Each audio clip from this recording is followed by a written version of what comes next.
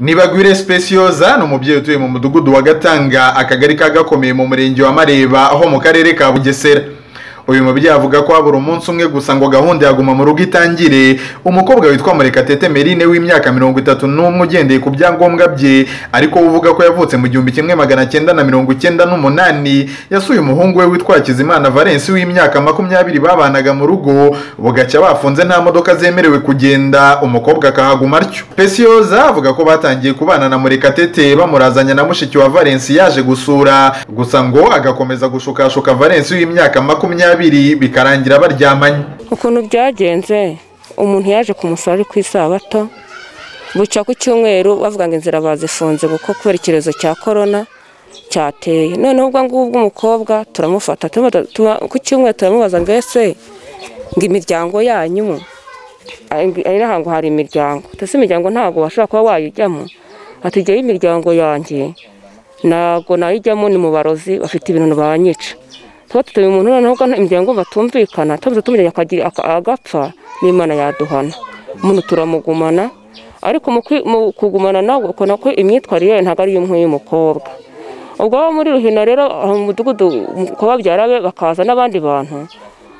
Ariko umucyo ku wa kabiri haraje umudugudu aramubaza ngo ese ngo ko hari umuntu bava ngo waje mu rugo ngo arwaye korona ari hehe? Ese nimwafasha nkakigeza hepfo? Noneho ubwo ngubwo rero ni bwo umudugudu aje amubaza ati ese witwa nde? Ati ngewe nitwa niyo mugeni merine ati se wavutse ryari? Navutse muri mirongo icyenda n'umunani. Ubwo ngubwo tubyumva gutyo tubifata gutyo. Tugumana ibyumweru bibiri rero ariko nkabona imyitwarire nkabona ni umuntu udashoboka. Nkabona ni umuntu mbega utari umukobwa pe. Akajya abyuka aryamye n'uriya mukobwa mushiki w'uyu nguyu hano muri salo akajya amusanga mu cyumba ko bararagamo hariya haruguru uriya muhungu na murumuna we. Noneho biza kugira nyuma rero kubera n'ibyabo bangabo birangira ngo umuhungu avuga ati ngewe nabaryamanye n'uriya mukobwa. Ndarira navuga ntisundi ko baryamanye bigende gute? N'umuhungu ati ngiye kumushakira kuri abo nakenda tuzabana. Ariko nyuma y'aho amakuru akajyaza ati nyamara uriya muhungu wanyu ariroshye. Ati uriya ntabwo ari umukobwa ati ahubwo ni umugore. Ati afite abana bangahe batatu? Ati aho yarashatse muri kanzenzi yataye abana babiri. Ati uwo mwana agenda avuga amazina yiwe ni ay'uwo mwana wiwe ntabwo ari ayiwe yitwa murekatete eberina ubwo akabwira mudugudu ngo ntarangamuntu afite. Ejo bundi hanyuzemo icyumweru kimwe ndavuga ariko si ubundi tuzagutunga? Tutazi amazina yawe na aderese zawe neza. Ubwo rero ubwo birangira rero umukobwa anyeretse irangamuntu. Ngiye kureba irangamuntu usanga avutse muri mirongo inani muri mirongo inani n'icyenda. Ndavuga ntese wowe ibi bintu wakoze ni byo ibi bintu wadukoreye nk'umuntu ukuze ungana gutya n'umwana w'imyaka avutse ku itariki mirongo itatu z'ukwa gatatu muri bibiri muri bibiri nk'uriya mwana muto yavutse. Nawe wavutse icyo gihe ufite imyaka mirongo itatu n'umwe uri kubona utaramusagariye koko? Ubwo bigezeho umwana rero akajya yumva n'ukuntu umuntu yabayeho uwo muntu bimutera kuba yihebye muri we asa nk'urebye ahantu aba agiye ati kuko umukobwa ariko nyuma yaho abanza gushaka kwiyahura kuko ngo uriya muhungu ngo avugishije abakobwa ngo bamwohereje za meshaje umuhungu agiye kwiyahura icyo gihe umugore agiye kwiyahura umudugudu araza arahagera areba aho hantu igituma agiye kwiyahurira. N'icyo ari cyo atigiye nuko uyu muhungu wa hano ari gutereta n'abandi bakobwa agiye batakinkunda umuhungu atigiye nubwo ntakigukunda ariko rero nawe wagiye umbeshya ntabwo wambwiye imyirondoro sinzatunga umuntu ntazi kandi nanjye ibintu yo gushaka nanjye warampohoteye. Ubwo ngubwo rero birangira rero umukobwa akomeje kwitwara nabi bigeraho noneho afashe inzira agenda agera mu gitondo nimugoroba tuvuge ati umuntu uri kujya nimugoroba akageza aya masaha imyitwarire ni ihe mu by'ukuri? Ubwo birangira rero umukobwa tugomeje gutanga abantu bagomeje gutanga amakuru yiwe y'ukuntu umuntu atari umuntu w'umukobwa utuye hano. Abamuzi yabaye mu mudugudu wa ruhina. Tukumva yuko ari umuntu ushaka kugira ngo abe yagira nk'ikintu kibi yakora. Specioza avuga ko ubuyobozi bwabasabye gukodeshereza abana ngo babane nabo barabikora ariko batabyishimiye kuko ngo babona bashobora no kuzicanira mu nzu. Ubuyobozi bwabifashijemo pe. Baravuga ati noneho ahubwo wowe umushakira ahandi hantu wabakodeshereza bajya kuba. Twagiye dukodesha hariya ku mudugudu wo muri ruhina ni ho twagiye gukodesha bajya bari ku isabato ariko umurenge bitegetse bajyamo. Ubwo ngubwo rero kujyamo kubona umwana arimo arakerakera. Ejo birangira umugore agiye mu bijumba arakuranya ibishyimbo ararandura. None ndamubwira ntese ko ukuye ibijumba byinshi ukura bike byo kujya kurya? Ntukure byinshi. Arambwira ati jyewe nishaka bikure mbimareho ibijumba. Nibyo nyine ibishyimbo byose nzasarura. Ntabwo ari ndavuga ntese noneho umva ntabwo wakubuza kurya pe. Ariko kura bike wikurira isoko ariko dukeneye kurya. Arantuka arambwira ngo nimushinguke hejuru. Ambwira ibitutsi bibi cyane. Ndavuga nti jyewe singiye kurwana nawe. Ariko nimbona nawe ugiye kunyicishiriza inzara abana. Njye ntabwo nabyemera. Iryo hohoterwa ry'uriya muhungu nanjye ndihohoterwa nzahinga. Nahingishije abakozi impingisha aho hantu mu kabande aho hantu imusozi mpahinga nakiraga nk'abakozi abantu bose barabibona mpinga. We yaje n'ahangaha kuri makumyabiri n'imwe z'ukwa gatatu nkibaza ukuntu yajya mu myaka akajya ajya gusarura atarahinze narahinze. Aho hantu hari akarengane mukwiye kuturenganura. Ubwo mukambwira nuko navuga n'ikindi kibazo kiri none gifite cy'umugabo. Muvuze ko ku isabato ari bwo umurenge wategetse yuko umuhungu n'umukobwa babana. Ubu abana babwiye ngo nidushake ahantu twabona inzu. Ngo bave mu gikayi kubona akantu gese kari hari agatonya ngo nidushake ahantu twabona inzu bajye kuba baba ariho bajya gucumbika muri iyo nzu. Twarayibonye ni ho bari bari ariko uwo mwana kuva bakahagera none ntabwo bigeze bumvikana nko kuri ubundi byamye agenda batumvikana. Mubashakira iyo nzu. Mwe mwumvaga mutabashyingiye ubwo ngubwo? Ese ko umuntu yagutegeka se ahubwo ati kora ibi niba ukabyanga ntabwo wabyanga kuri mwe ntabwo mwashakaga kubashyingira umurenge wabashyingiye ku ngufu. Ubwo umva baradukure bazi ubwenge ntabwo wajya kuvuga ngo ngo ni ugushyingira bo bazi impamvu babikoreye ntabwo twabimenye. Urabona byari bikwiye yuko se koko babategeka ku bana binagaragara n'izo mpungenge umwana yagaragaje ariko umurenge ukanguka bategeka ngo babane. Mwe mwabyakiriye mute nk'umuryango w'umwana. Itegeko ni itegeko ntabwo umuntu yakubwira ngo ikora ibingibi ngo ubyange kuko ntabwo waba uri hejuru y'amategeko. Mu by'ukuri mwabikoze kubera ari itegeko namwe ntabyo mwashakaga. Ntabwo utekereza ukuntu umuntu n'umukobwa yitwara n'ukuntu ameze ntabwo wavuga ngo hano nibabane bazicana mu nzu kuko n'ubwo uwo mwana yavuye aho yaraharaye ku cyumweru ku isata yaraharaye buke ari ku cyumweru uwo mugore ngo ajya kumusopa n'irangamuntu ngo ayimukure mu mufuka wiwe birangira irangamuntu umwana abonye ko agiye kuyimutwara ayiha umuntu bari bangikanye ni we wayimufashije ubwo bikagaragaza yuko uwo muntu afite ibindi bintu uwo mugore yikingiranyije. Biri kuko nawe abimubyara we yaje gutanga amakuru ahangaha asanga ubuyobozi buragiye ariko yambwiye ngo nimwaramuka muje mumuhamagare avuga amakuru y'uwo muntu amakuru y'uwo muntu ukuntu ameze yuko ari ihohoterwa. Kandi ikindi nanone uwo mukobwa nawe ndamubaza ntese ko hari igihe abantu bavuga ngo umuntu ajyana isuka ahantu twayijyana hehe arambwira ati ngo nomero zayo i kigali nawe kanombe aho wajyana iyo suka. Ubwo ngubwo rero umuntu mbona birimo bizambaza amabona umugore atumvikana njyewe narihamagariye umuntu w'i kigali. Atese muraha? Ati muraha amakuru yati ni meza. Ese umuntu witwa emerine mwabanaga aho ngaho muramuzi? Barambwira ati turamuzi. Ati ariko ese izo nyuma zibonye ute? Yarambwiye ngo ndamutse zanye isuka ni we nahamagara. Ati ariko nkubwo yatanze izo nomero nziza ati uwo muntu ni umutekamutwe. Atajya kuza nanjye. Yantwaye ibihumbi makumyabiri.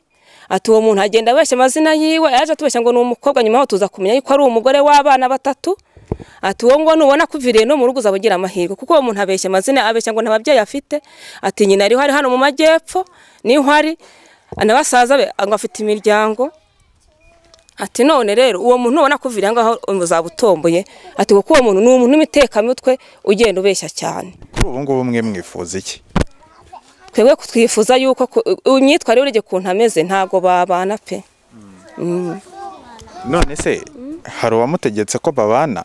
Kuki mwebwe mutabwiye umuhungu wanyu ngo agaruke mu rugo namwe mukavuga ngo bakomeze babane? Kuki wenda iyo nzu niba ari namwe muyishyura? Mutaretse ngo umukobwa akomeze ayibemo wenyine umuhungu wanyu agaruke. Urumva? Ubwo mwe ntimushyigikiye yuko babana? Ntabwo bari kubana n'ubundi. Kuva uretse iryo joro ryo ku isate haraye nabwo ngo yaraye yicaye amaze kumushaka umusopa muntu kuva uwo munsi nongeye gusubirayo nawe kubera n'ukuntu yatangiye kubona amubwira bituma wenda ahari impungenge azigira bituma atongera kubana nawe. Ubu ngubu umuhungu atuye hehe? Uwo nakita umukazana wawe wishingiye hano we atuye hehe bari hano muri ruhina mu mudugudu wa ruhina ni ho bari. Bombi baracyari hamwe? Ajya kureba ariko ntabwo babana ni ho ariko ni ho umugore we ni ho ari ariko n'uriya muhungu uvuga ngo igitego yuko bari kumwe nyine ariko batari kumwe. Kuki umwana mwe mutamubwira ngo agaruke mu rugo? Umva kugaruka mu rugo se ko biterwa no kuvuga ngo wenda hari ngo nigende kubasenya kandi ntari kubasenya kandi ukuntu uwo muntu namufataga namufataga nk'ubona ari umuntu nkumva ni agapfubyi nkavuga nti reka uyu muntu noneho niba wenda ashaka kuba abana abana abana abana ntawe umenya gahunda y'imana umuntu mwakira gutya. Ariko jyewe ni uko makuru ari kugenda bi- bi- bimera bigatuma umwana wenda hari yirwa kerakera ku musozi nk'uko valence yemera ko baje kuryamana ariko babyumvikanye ngo kuko igihe imodoka zagombaga gutangira kugenda murekatete yagombaga gutaha agasubira iwabo gusa ngo imodoka zatangira kugenda akabatsembera ko atazava muri urwo rugo. Kubw'uwo mukobwa ajya kuza twavuganaga kuri telefoni ntamuzi n'abatanzi ambwira ngo ni uw'i Kanombe mu mujyi wa Kigali. Nawe ndamubwira noneho akajya amvugisha akambwira ngo ino karitsiye ngo hari abantu ahazi ndamubwira ati noneho ubwo hari abantu hazi uzaze nkubone nanjye umbone njye sindakubona ntabwo nzi nanjye ntabwo nkuzi. Aranyemera ati jyewe nzazana na korari izaza gukora ivuna hano. Ndamubwira ati noneho ubwo uzaza uzaze nkubone nanjye umbone. Nkaho yakaje uwo munsi korari yaje aza kuri makumyabiri ubwe i- korona yatangiraga arangije arambeshya ati jyewe ndaje ari mu gitondo. Ubwo none ndategereza ndaheba nko mu ma saa cyenda namamagara ngo ati nanjye nigire mu- muri shuguri zanjye. Ntabwo mare arambwira ati twakoze impanuka kariyeri ni ho tukiri. Aza mu ma saa kumi n'ebyiri z'ijoro. Nabwo umuhungu w'ishutanye nawe ati noneho njye ntabwo nakwijyana. Umuntu ntazi deresi ziwe ngo tujyane tujye kumureba. Ubwo ndangije turagenda arambwira ati ngaho nyakira icumbi ababyeyi bawe mu gitondo ndabyuka nta.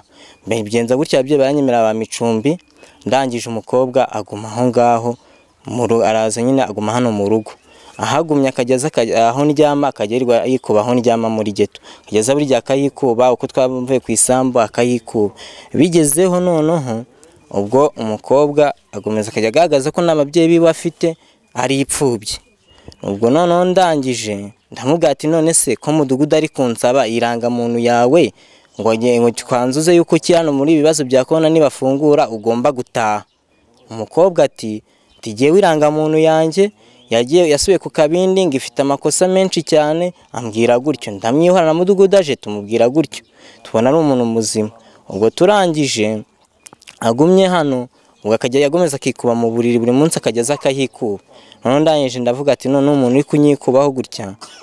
Reka mwihorere. Umubiri n'umubiri waranshutse ndyamana nawe mu kuryamana nawe kwiwe yambwiraga ko ni- nibafungura imodokari azataha. Imodokari bazifunguye none ndamubwira ati ubwo imodokari ziri kugenda noneho wowe enda nguhe itike utege utahe. Arambwira ati igihe ntabwo ngomba kuva hano. Ambwiye gutyo nawe ati nta kibazo. Burakeye ubaye bene wabo andika mesaje atubaza ati se mwaramutse muti?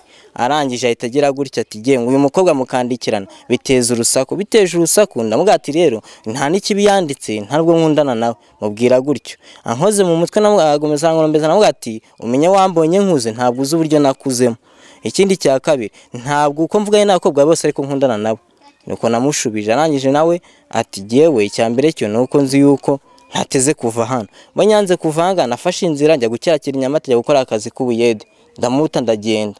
Maze kugenda nawe rero aguma ahangaha. Induru zaza zirashakuje birado- biradogera hano mu mudugudu ukundi kundi nahamagaye umuntu amazi ati se amakuru yabo mu mudugudu. Nta na telefone najyanye amakuru mu mudugudu. Ngo reka ibintu byarazambye kuko nzizi mu mutwe. Ngo ibintu byarazambye ngo ni ukujya ukaza ugatanga umwana valence kandi avuga ko umurenge wabategetse kubana ibyo we yita ko yafashwe ku ngufu kuko avuga ko adashaka kubana nawe ngaho kubana na murekatete yajya mu nzererezi. Njye narize ari kuwa gatanu. Ngeze hano nsanga ibintu byabaye murengera.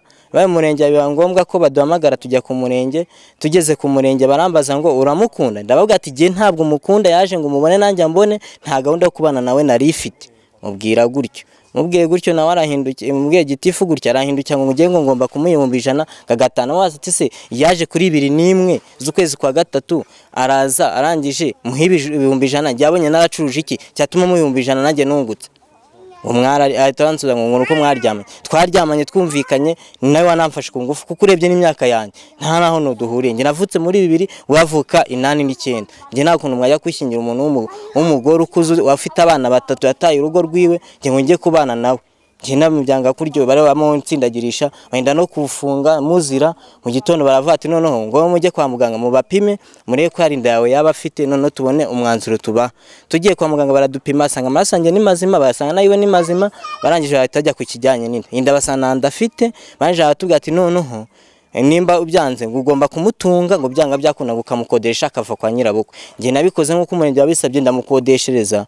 Mu mu itike yahisemo kumukodeshereza none ageze mu myaka ababyeyi arimo ararandagura ngo ni iyanjye agafata ibijumba akajyamo agakuragura ngo ni ibyanjye mumbwire nimba umuntu umusore yiharika ibijumba. Nyuma y'iyo nshuro imwe uvuga ko umubiri wagushotse mukaryamana nyuma yaho ntabwo wigeze ukomeza kumusambanya nk'umugore wawe. Igihe cyarageze nanone narabiretse. Arongera aranshukashuka arankurura. Ndongera ndyamana nawe. Ariko ambwira ko agomba gutaha. Twese ubwo twabikoraga turinda kuko nta na hamwe nta nubwo nigeze niwanga ngo ni umugore wanjye. Barimo baramunsindagiraho ku murenge ku ngufu. Igihe rero simushaka aho kugira bamushyingire ku ngufu nakwemera nkajya mu nzererezi cyangwa nkajya n'iririmo umugore shaka n'imyaka njye ntabwo ibinyemerera kuzana umugore. Hanyuma nyuma y'izo nshuro ibyo ngibyo byabaye. Yakomeje kuba mu cyumba bari bamucumbikiyemo na mushiki wawe cyangwa yagusanze muri iyo geto wararagamo mukajya mubanamo. Byageze aho ngaho bigezeho araza arahansanga. Noneho ahansanze nawe ati nubwo njye nta gahunda afite yo kuzana umugore nta na kimwe nibereyeho habe n'amafaranga nifitiye ubu ngubu. Cyakora cyo numbwira y'itike iyo yakubonera. Ansangamo gutya. Ababyeyi bayobeye baragenda bati noneho ubwo umukobwa wavuze ko ari ipfubyi ameze gutya na gutya. Yenda byashoboka kuba banakubaka ariko irangamuntu yarayihishe aratubwira ati yavutse icyenda n'umunani. Akavuga ati ubwandusha imyaka ibiri nta kibazo. Ubwo rero tubana baza gutyo bamugura igitenge abaho ngaho gutyo. Noneho tuza kuvumbura ko afite ababyeyi arangije nabwo ati se mubana akajyambwa ati nyamara uzamubaza irangamuntu arayifite. Nize no kuyikoraho ku gahaga afite nyikozeho mba ndayibuje nabaza se iyo ni irangamuntu ufite ukaba warayimije? Ngo yange iyi ni ikarita ngo mfite ngo y'iki ryabarezi yo ku modoka. Navuga ati ni mpari ikarita nanga kwigwa mbyinjiramo. Ubwo yanze kuvumbura inuza irangamuntu yiwe sanga aranduta afite imyaka mirongo itatu n'umwe. Nanjye nkagira vero ubwo si imyaka cumi n'umwe nzahurahe nawe kuri ubu ngubu wifuza iki? Njye nifuza ko tutabana abaturanyi b'uyu muryango bo bavuga ko ngo babona bagakwiriye kubana kuko ababyeyi babashyingiye bamushimye ngo kuko bamuhaye igitenge ndetse bakamuha n'inkono ibyo bavuga ko mu muco w'abagesera ari uko bigenda iyo ababyeyi bashimye umukazana umukobwa twagiye kubanza kumubona ajya guhinga ari kumwe n'abantu twaza ati si umukobwa ni wahiye. Bavuga ko amushyitsi waje kubasura. Hashize iminsi twumva ngo yaje kurongora yarongowe. Hashize iminsi twumva umuhungu n'umukobwa bashwana umuhungu avuga ati jyewe ntabwo najya kurongora umukobwa undusha imyaka mfite makumyabiri afite mirongo itatu n'umwe. Mwe mu byumva gute? Umuhungu rero igihe yavuga ati simushaka umukobwa ati nanjye warandongoye twe twumva nta muntu wahambirwaho umuntu nta ntawe ushobora kurongora umuntu ku ngufu. Umukobwa yaje yajya kuza numvise ko bamukuye imareba yaje kuri telefoni aje asanga umuhungu bumvikanye. Urabona njye sinari kumenya ko umuhungu n'umukobwa bumvikana. Ariko nyuma yaho hashize icyumweru twumva ngo yarashatse ndi hafi kumva ngo bamuhaye inkono bamugura n'igitenge. Nyirabukwe ati ndamushimye. Biza kuza gusakuza bavuga ngo korona yarateye. Aravuga ati ntimunkomere umukobwa ntimunkomere umugore. Umuhungu ati ntimunkomere umugore. Nyirabukwe ati ntimunkomere umwana wanjye. Ntabwo agomba kuva aha ngaha. Ubwo barebye basanga kuko nta korona arwaye icyo twavuze twavuze ko umuhungu n'umukobwa bagomba kubana nta kindi twari kongera ubu ngubu umuhungu ndetse na na nyina bose bavuga ko umugore batamushaka cyane bashingiye ko kuba n'umuhungu waba ataragira imyaka yo kuba yakora ubukwe n'umukobwa umuruta cyane umurusha imyaka isaga icumi. Mwe mwumva bikwiriye ko abantu babashyingira batabishaka? Yego niba batabishaka ariko bavuze ko imyaka atari yarongora bariyumvikaniye. Imyaka ufite mirongo itatu cyangwa mirongo ine ze ntibashakana. Ariko umuhungu n'umwana ari- si wowe biteye se? Si wowe biteye wajyaga kuzana umuntu amukuye i kigali nitwe twagiye kumumuzanira ko ataje iwanjye cyangwa ngo ajye n'ahandi. Ubwo rero twavuze ko bagomba kubana nta n'ikindi twongeraho. Muri make ni bya bindi ngo urwishigisha ararusoma nuko nyine. Yararusomye rero narushigisha rusome amutunge twagira yagira ibyago se akasanga yaranamuteye n'inda ko ari byo byago bye. Ubwo rero nkatwe abaturage aha ngaha tumaze iminsi tubyirukamo tuvuga ko agomba gutunga umukobwa bagira n'ubwo bamufashe bamujyana ku murenge barabafungana aza yemeye ko azamutunga. Yihindutse ubu rero ntubimbaze. Ntabwo niba ku munsi n'itariki ariko ntiriranya hari nko kuri makumyabiri n'eshatu. Z'ukwezi kwa gatatu. Ninanirwa n'abandi baranyunganira. Haje umukobwa umuyobozi w'umudugudu aravuga ngo ko korona yateye bakaba babonye umuntu batazi waje mu mudugudu wa gatanga uyu muntu yaturutse hehe bati umuntu yavuye i kigali none se hano ni kwa nyirasenge nangwa ni kwa nyina wabo umudamu wa nyir'urugo aravuga ati ni inshuti y'umwana wanjye. Yaje kudusura. Umuyobozi w'umudugudu arabaza ati none azataha ryari? Ibyo ni mu bishinzwe umuntu yaje mu rugo ariko umuntu umenya kubona agera mu rugo avuga ko ari korona yaje aha ibyo ngibyo ntabwo bishoboka uri kumva neza ubwo noneho rero umuntu yabaye hano koko birangiye nabonaga bajya guhinga uwo mukobwa n'uwo witwarwa ni umugabo we na sebukwe na nyirabukwe igihe cyaje kugera twumva ko ba- abana babahaye aho bagomba kubana nk'umuntu waje ari umushyitsi birangira bamushingiye baraje kumushyingira nyirabukwe agatenge nk'aka ngaka yari asanganywe byabaye ngombwa yuko bitegura bajya mu isoko bamugurira imyambaro noneho. Bamaze kumugura imyambaro bagura n'inkono n'inkoko bamuha- ko ari mu gikari. Nuko byagenze. Barabana barahinga barabagara ejo bundi nyir'urugo w'umugabo wa hano. Kumva ngo yaragiye impamvu zamujyanye muri two ntabwo tubizi. Uwo mugabo amaze kugenda kumva ngo uyu muhungu nawe ngo yagiye. Hmm. umugore atese suka hano gute nyiramuka ati noneho ugomba kuva mu nzu. Kuko we waje umwana wanjye wamuteje ibibazo. Abaturage atese ubwo ibibazo umwana wawe yakorewe ihohoterwa. Unanirwa kujya kuri ribu ngo bisobanure urangije umuha inkunga yo kumuha haba umugura n'imyambaro umugura ibikoresho by'urugo. Ahubwo agaragaza umwana wawe ahantu yaba yaragiye. Yumvise amagambo abaye maremare ateze umwana wanjye azaza.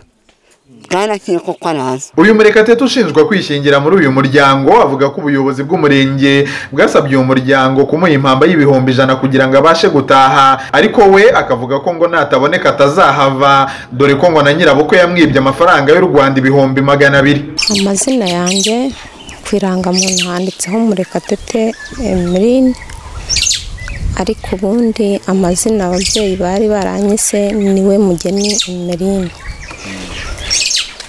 Ababyeyi banjye abandeze bakaba bari baherereye muri nyamata kwa nyogokuru ni ho narerewe.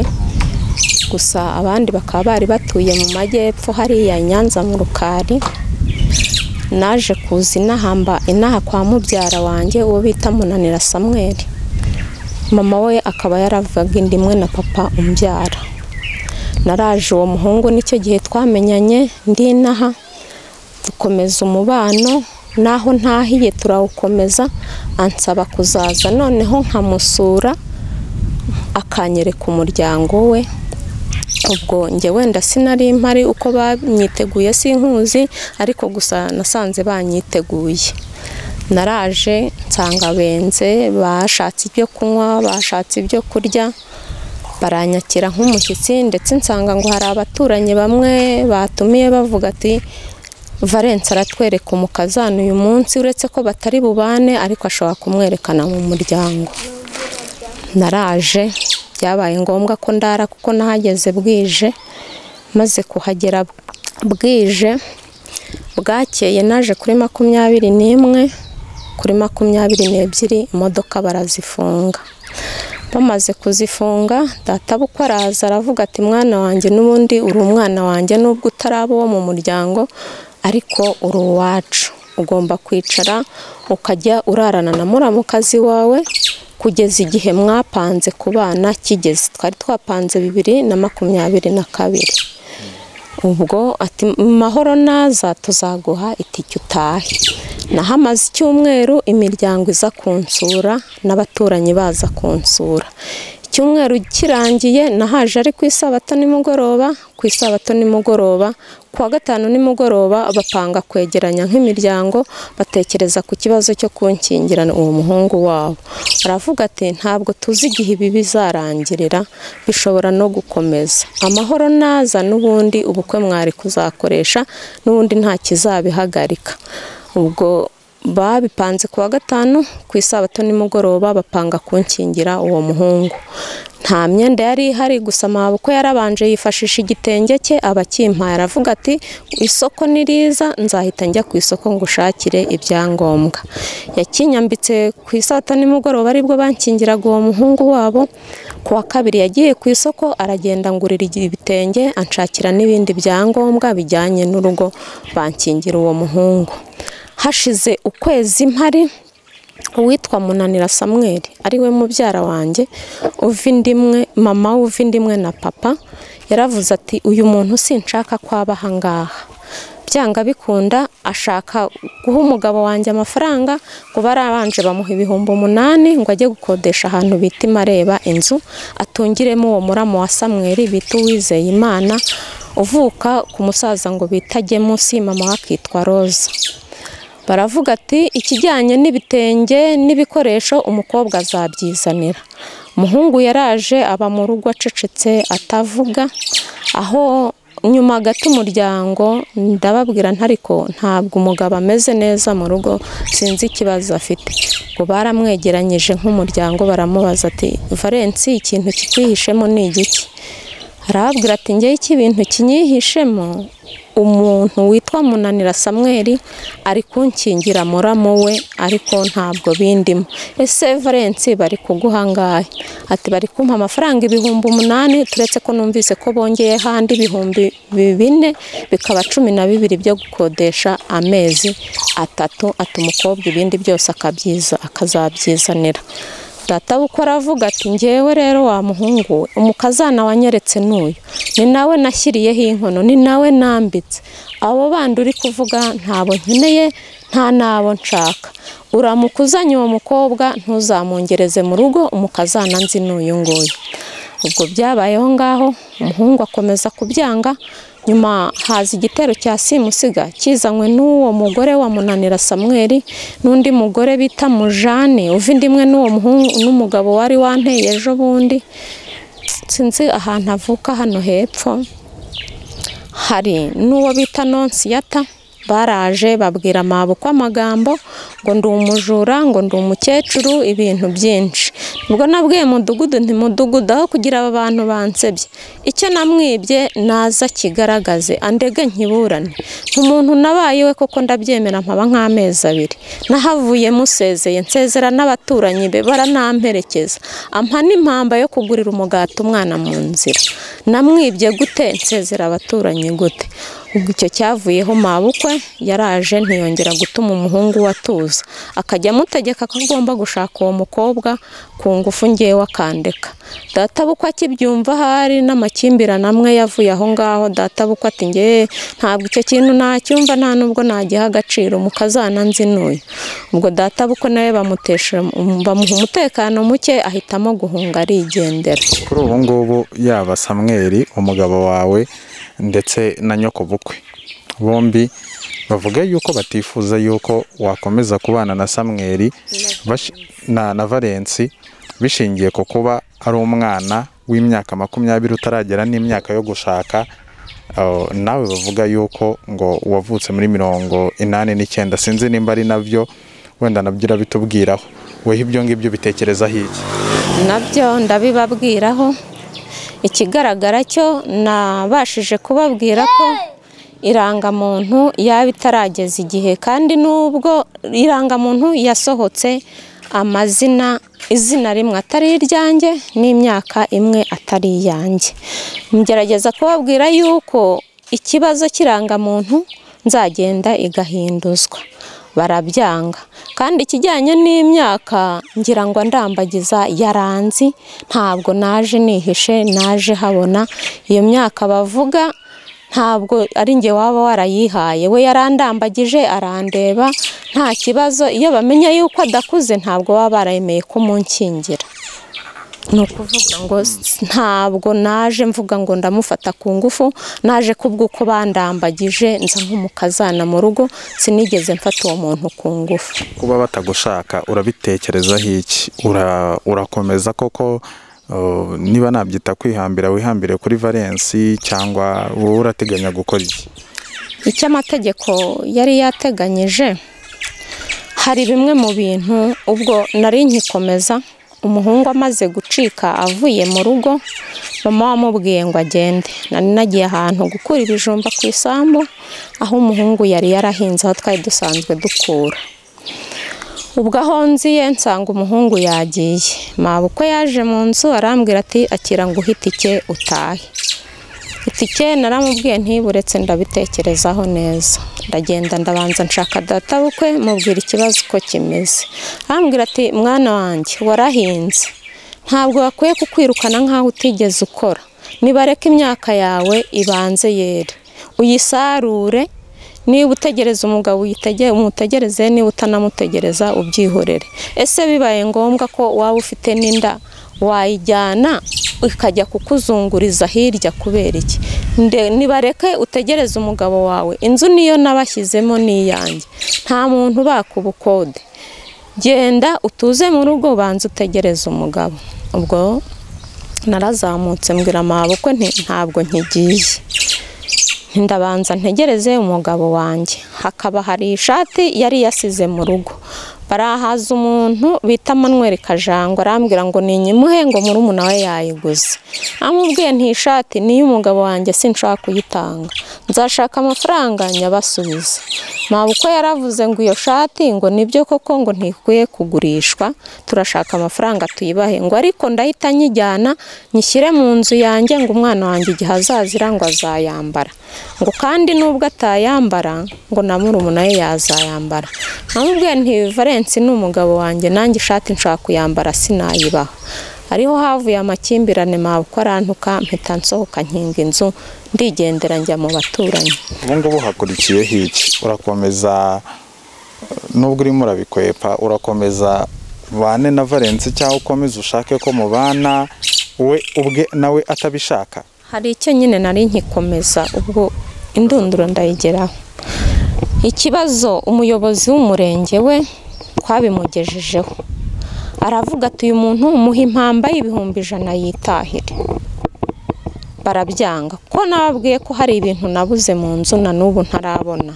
Umuyobozi w'akagari we yaravuze ati uyu muntu icyo nshaka ni ukumenya ahantu uba wicaye. Noneho numara kubona aho wicaye nyuma uzaregera ibintu byawe. Nibwo byabaga ibindi bintu bindi nanone ubwo batujyana ku murenge. Tifu w'umurenge aravuga ati mirongo itanu ku ijana amafaranga ashobora kuba yari ahari mirongo itanu ku ijana ashobora kuba ntayo. Uyu muntu ikigaragara cyo umumaranye amezi abiri. Umushakira impamba y'ibihumbi ijana yigendere. Ubwo gitifu anahamagara umuryango arabibabwira. Baravuga ati aho kugira tumuhe impamba y'ibihumbi ijana turemera kumutunga. Gitifu ubwo aravuga ati ubwo mwemeye kumutunga noneho. Mumukodeshereza inzu iri hejuru y'amezi abiri. Kandi umuhungu aramuka amutayemo kandi mwemeje kumutunga. Muzamushakire impamba ye nge nzaza mumushakire impamba ye n'ubundi yitahire ntari kubagora ngo yihambire ku muhungu wanyu. Niba mutamushaka ntimumushaka nawe nimumuhe impamba yigendere. Ubwo rero iyo mpamba bayimpaye simwihambiraho nakwitahira ubuzima bugakomeza. Ni kampani y'uko impamba igomba kuba ibihumbi ijana wenda wirengagije ibyo gitifu w'umurenge yagutegetse. Utanirengagije ibihe igihugu cyose kimazemo igihe bifunze ku buryo umuntu uwo ari we wese kubona ibihumbi ijana bitamworohera. Ni kampani y'uko ibyo bihumbi ijana bitabonetse utagenda? Bigomba kuboneka kuko nanjye hari ibyo nabuze ubwo nsa nkaho nirengagije nsa nkaho noroheje ikibazo. Gitifu aravuga ati mu bihumbi magana abiri nibasaturemo kabiri ubundi si n'impamba ni mu yanjye. Ni ukuvuga ko ni ukuvuga ko valensi yakwibye ni mama we. Ni we wakinguye inzu valensi ntiyari ahari mama we ni we wayikinguye mburamo imyenda y'umugabo mburamo igitenge mburamo ibyangombwa mburamo n'ayo mafaranga amafaranga angahe ibihumbi magana abiri urakoze cyane murakoze inama bafite imyaka ingahe muze diferanse bavuga imyaka se yawe isohotse muri mirongo inani n'icyenda Mm, sante ariko gusa nyine nabwiye ko mashini yasohotse yaribeshye. Ariko imyaka yawe ni wavutse icyenda n'umunani. Wavutse icyenda n'umunani. Mm. umulisa marie claire ni umunyamabanga nshingwabikorwa w'uyu murenge wa mareba. Avuga ko ibyo babanje gukemura ari ikibazo cy'uko bareka kubana na nyirabukwe mu nzu kuko ngo ari cyo bari bagejejweho bwa mbere naho ibyo kuba badashaka kubana ari bwo babimenya ariko bagiye kubikurikirana bakareba uko babafasha. Nibyo koko icyo kibazo mutugejejeho twaracyakiriye ikibazo cy'umubyeyi witwa sipesiyoza utuye mu kagari ka gakomeye ndetse n'umuhungu we witwa valensi twagejweho ikibazo n'uyu mubyeyi atubwira ko umuhungu we witwa valensi yashatse mu buryo butemewe n'amategeko aho babonye azana umukobwa witwa murekatete bakaba babana mu nzu yo mu rugo yo kwa sipesiyoza umubyeyi atubwira ko abona abangamiwe n'ibyo bintu atifuza rwose ko ibyo bintu byakomeza ko uwo musore yakomeza kubana n'uwo mukobwa mu rugo kwa sipesiyoza tumaze kumva ikibazo twatumijeho abo bireba dutumizaho koko uwo musore ah, valensi ndetse n'uwo mukobwa witwa murekatete. Tubabaza ikibazo gihari tubereka n'icyifuzo umukecuru afite. Mu kiganiro rero twagiranye na valensi yatubwiye koko ko uwo mudamu bashakanye mu buryo butateguwe hanyuma tunabereka yuko umukecuru yavuze ko atifuza ko babana aho ngaho. Nyuma rero yo kubaganiriza tubasobanuriye ko rwose kwishingira twabyita kwishingira kuko ntabwo twabashyingiye mu buryo bwemewe n'amategeko tubabwira ko bitemewe. Tubashishikariza ko bagomba kuzagana ubuyobozi bakandikwa igihe ingamba za covid cumi zo kwirinda covid cumi n'icyenda zizaba zatanzwe zitanga uburenganzira bwo kuba abantu bashyingirwa. Tubabwira ko bazategereza bakagana ubuyobozi bagashyingirwa ku buryo bwemewe n'amategeko. Hanyuma ikibazo twari twagejejweho na sipesiyoza cyari cy'uko atifuza abo bantu mu rugo. Icyo kibazo rero twaragikemuye ubu ngubu rwose ubu tuvugana ikibazo cyarakemutse ntabwo valensi akiba iwabo we na murekatete. Murakoze. Uyu munsi twaganiriye na valence ndetse na nyina ari nawe nyirabukwe murekatete. Valence nawe ubwe atangaza yuko atifuza ko uwo mukobwa bakomeza kubana. Ariko akavuga yuko ngo ubuyobozi bwasabye kumuha impambango y'ibihumbi ijana kugira ngo abone kugenda. Murekatete nawe akavuga yuko adashobora kuhava ibyo bihumbi ijana bitabonetse. Yo- ib- ibyo ngibyo murabihuza gute no kuba valence atamushaka ariko nanone ubwo bushobozi bukaba bukigoranye. Bivuga ko bari bukomeze kubana valence atabishaka. Oya rwose ikibazo twakemuye twebwe cyari cyo kuba abantu batakomeza kuba ku mukecuru nk'uko yabyifuzaga naho ibindi bibazo byaje nyuma ibyo ngibyo kugeza ubu nta makuru twari tubifiteho kuko njyewe nakemuye icyo kibazo ku wa gatanu. Uyu munsi turi ku wa kabiri. Ni ukuvuga yuko ntabwo ubuyobozi bwakora iryo kosa ryo gushyigikira ko abantu babana bitari mu bushake bwabo. Ni ukuvuga ngo twebwe inama twabagiriye ni ugushyingirwa byemewe n'amategeko. Ibyo kwishingira ntabwo tubishyigikiye. Ubwo rero ikindi kibazo cyaba cyavutse nyuma y'uko dukemura icyo kibazo cyo kuva mu rugo kwa sipesiyoza bazakitugezaho tukagikemura ariko rwose ntabwo twashyigikira ko abantu babana batabishaka. Murakoze. Eh, mu gihe umu- murekatete avuga yuko atari buhave ibihumbi ijana bitabonetse. Na valence akavuga yuko eh, ibyo bihumbi ijana atari buze kubibona. Kuko abantu bari bamaze n'igihe badakora ni ibintu byumvikana cyane kuba adafite ayo mafaranga. Ayo mafaranga kandi bavuga ko ari ubuyobozi bw'umurenge bwategetse valence ko agomba kuyaha murekatete nk'impamba. Icyo gihe bwo muraza gukorana nabo gute kugira ngo muri buryo murekatete ashobora kuba yakoroherezwa akabasha kuhava agataha na valence nawe ntibimugore cyane kuri ayo mafaranga? Yego murakoze. Ibyo ngibyo by'amafaranga agomba guhabwa murekatete ibyo ngibyo ntabwo twabihagazeho ntabwo ari umwanzuro wafashwe. Ahubwo ubwo twakemuraga ikibazo cyo kubavana kwa sipesiyoza batugaragarije ibindi bibazo basa nk'aho bafitanye by'amakimbirane hagati yabo ubwabo. Ni ukuvuga ngo ni urugo rushya ariko rutangiranye n'amakimbirane hagati yabo aho umugeni cyangwa se umukobwa yagaragazaga ko muri icyo gihe ahamaze yabuze amafaranga. Hanyuma tubabwira yuko ibyo bintu tuzagenda tubikemura kuko nta n'ikimenyetso cyagaragazaga ko ayo mafaranga ibihumbi ijana uwo mugore yari ayafite. Ubwo twabazaga umusore yatubwiraga ko atamenye ko ayo mafaranga uwo mukobwa yayazanye. Hanyuma rero tubabwira yuko ubwo nta bimenyetso ibyo bintu bigomba gukurikiranwa buhoro buhoro abantu babiganiriyeho ariko ibyo byaba bijyanye no kuba hari hazamo kwibwa. Ibyo ngibyo rero twagenda tubikurikirana nyuma ndetse twabona tugomba no kwifashisha izindi nzego tukaba twakifashisha inzego zikurikirana ibijyanye no kwibwa. Kuko aho ngaho ho nta bimenyetso twabonye. Ariko icyo twabizeza uriya muryango ni umwe mu miryango dufite mikeya ibana mu makimbirane mu nshingano rero dufite n'ubundi dufite gukurikirana imiryango ibana mu makimbirane tukayigisha kugira ngo habeho umuryango utekanye. Uriya muryango rero tuzawukurikirana kugira ngo ubeho utekanye kandi koko nitubona ko bidakwiriye ko bakomeza kubana iyo bigeze ahantu tubona ko aba bana bagirana ibibazo bikomeye ku buryo bishobora gutuma habaho no gutakaza ubuzima tubagira inama ko umwe ajya hirya n'undi akajya hirya ubundi bigakurikiranwa iyo nama numva ariyo tuzabaha ariko kugeza ubu ikibazo twakemuye ni kiriya nababwiye ibindi na byo turakomeza kubikurikirana